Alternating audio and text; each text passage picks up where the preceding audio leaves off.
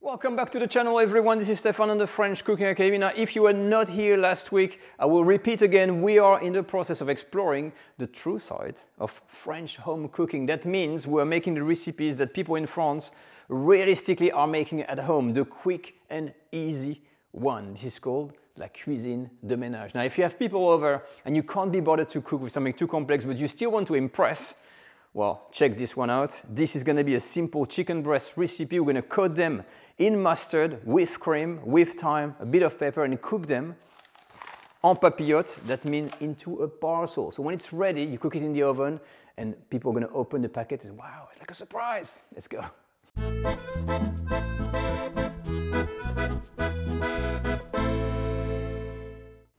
Now, I'm sure you all had that moment where you get friends over, you don't want to make too many effort, you wonder, what am I gonna cook tonight? And if you have chicken breast, even in the fridge, you think, well, the chicken breast, but I haven't cooked them, like pan fried, it's boring. So this is a welcome addition. I'll give you the recipe for four, I'm just using three chicken breast because I don't need to make tons, don't want to waste anything, but this is easy. So chicken breast, the mixture we're gonna use to coat the chicken is gonna be mustard, it's Dijon mustard, and crème fraîche. Crème fraîche what we have here, crème fraîche, it's a thick kind of thing. It's a thick affair, you see? It's not liquid. It's very important because we need to make a paste. Mix peppercorn and then thyme. Fresh thyme is the best, it's from the garden and that we're gonna sprinkle over. But that's about it. For the cookware, like we're gonna use a frying pan because I'm gonna sear this ever so slightly. That was not part of the recipe, but this is important. Four square of parchment paper or uh, kitchen paper, baking paper, doesn't matter how you call it. And that's about it. So let's get started. And now let's start the recipe. So as I said, uh, this part was not part of the original recipe. It just says, you know, you coat the chicken as they are with the mixture, you know, put the herbs on top, the salt, the pepper, and then put this into the oven. But the chicken, out of experience, I know is gonna be totally white and it's not really appetizing. So what I want to do here is to give them a little coloring ever so slightly. So one tablespoon of olive oil in there. And I'm gonna slightly, slightly color or sear the chicken breast just for a coloring. That's about it on either side. Okay, so this is the coloring I'm going for. Don't spend any more than five minutes doing this. It is just for a light tone. So when we're open the parcel, it's gonna be more enjoyable to look at. But that's it. I'm gonna take them out, put them on a plate. Now, this is also not part of the recipe, but this is me being meat, totally optional, because some of you have been asking, oh, can you show an improved version like doing two recipes?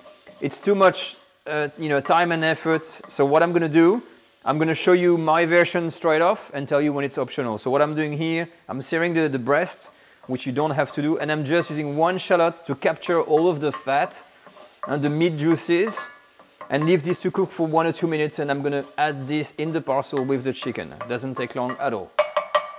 And now for the mixture of cream and mustard, ultra super simple. You're gonna take all of the creme fraiche. If you don't have uh, creme fraiche, by the way, you can use any kind of double cream or anything that's thick. Okay, so you get the creme fraiche, you get the mustard. I'm trying to do my best to use most of it. And with that, pepper, and salt. When it's all in, take a whisk, and you're gonna mix the whole lot. That's about it. It's a lot of mustard. Yes, it's normal. As soon as your cream is ready, your chicken is cold, you're ready to make your little parcel. Make sure before you start, or even before that, to preheat your oven at 180 degrees Celsius, okay, and with the fan force on. The papillote, the parcel, is all about having fun. Okay, so you can put all kinds of ingredients. I've got a piece of parchment paper. It's a square, it's a rectangle kind of thing. And we're gonna take some of the cream here and you're gonna coat each side of the chicken. And that's the first step. So I'm gonna turn it over and do the same on the other side. I've already made a mess, but it doesn't matter. When you're here, it is really up to you. So what I'm gonna do, I'm gonna use some of these uh, shallots that I have, the sauté shallots. I'm gonna add a little bit of thyme. So this is the fresh thyme that I've plucked and just the, the thyme, uh, the, the florets, so the, the flowers, a little bit of uh, parsley, okay? So, so plenty of herbs in here, and maybe an additional bit of a grind of some uh, salt and pepper. And again, If you want to infuse, you can add a few peppercorns, real one. Don't, don't leave them after they, they can't be eaten because you know uh, break your, your teeth on there. And if you want as well, you know, for instance, you can put a piece of lemon or anything like that. Okay, simple. You can, of course, vary the type and the elements you put in there. So this one, instead of putting a slice of lemon, I'm gonna think, oh, you know what? I'm gonna add a drizzle of lemon juice and perhaps a bit of olive oil. So I'm gonna take a drizzle of olive oil on top and that's gonna be it. That's gonna be my other version. You can put a bit of chili in there. You can put some basil. It's up to you, really. For the folding, I'm trying not to have my hand in front of the camera for a change. You've got your chicken, you got your piece of paper here. You're gonna fold it this way and join all the, the top like this, okay? And then you're gonna try to fold the top like this one way and then make it like that. And you can do another fold to make it a bit tighter, okay? That's the first step. Once you've got your fold like this, uh, you can get it tight, you're gonna grab both ends. It's like a candy, huh? and you're gonna turn and make a kind of a candy, a candy-like thing, which is the papillote. You see, it's a little candy. so look at that, in no time our little bonbons, as we call them in France, are ready. And all what's left to do, of course, is to cook them. So I'm gonna cook these for about 20 minutes in the oven, 180 degrees Celsius. Again, I'll put the equivalent Fahrenheit on the screen. And you want to make sure that the core temperature of the meat is at least about 65. So you can plant one of these food thermometers through the paper towards the end of the cooking to make sure it's cooked. But don't overdo it because you can take them out and let them rest a bit, okay, for everything to infuse and cool down. And the temperature will still rise after that. So sometimes 60 Celsius plus a resting time is enough. Okay, so I'll cook this and uh, then we'll unwrap, see what it looks like.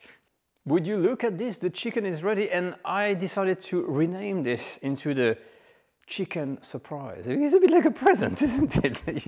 you want to see the thing. So this is how you serve it. You see there's some kind of juice in there. And you can either use a, a scissor and cut over here. Yeah, you make an opening and you, you unwrap, but I think I'm just gonna unwrap the whole thing. Let me help you with that wrapper, chicken. And ooh, look at that. And inside, comes the beautifully creamy kind of sauce. Now be careful with the size of the paper because you see what happens if it's a guest. It's not a problem, you could add and eat on the paper, but it's a kind of a bit odd. But for the sake of demonstration, this is it. This is the chicken, it's bathing in that sauce. Okay, you've got all the little garnish. It has kind of steam. Huh? So what I'm gonna do here is uh, have a go, cut a few slices. Ooh, it's tender. and then have a little bite. So try to bring you a little closer to the action. Um, that would go perfectly with last week uh, broccoli and cauliflower gratin. I'm gonna make a mess again. Hmm, no. So definitely moist, not dry. And uh, yeah, it's a simple sauce and cream and mustard. And um, I think it's a good trio. You know, it's a, it's a nice combination. It's not too strong. That's the one with the lemon juice. There's a little bit of a tang into it, but actually, it's really, really, you know, it's, it's really nice. I think maybe the fact that I've seared something in there has helped for the flavor to develop a little bit with the shallot.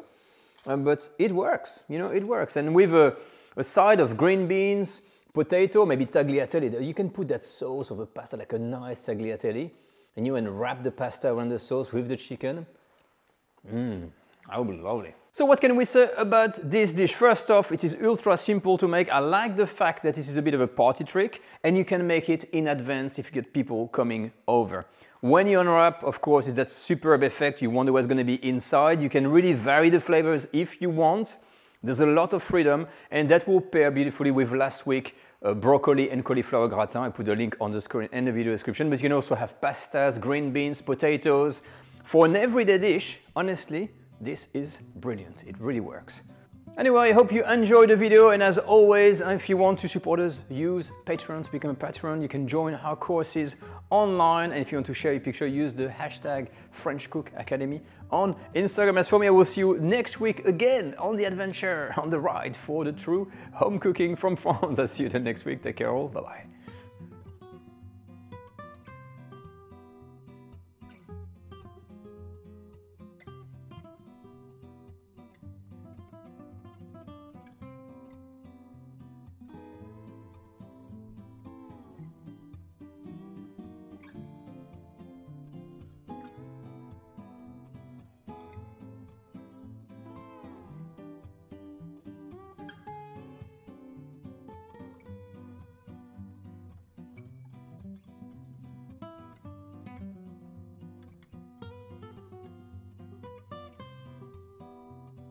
You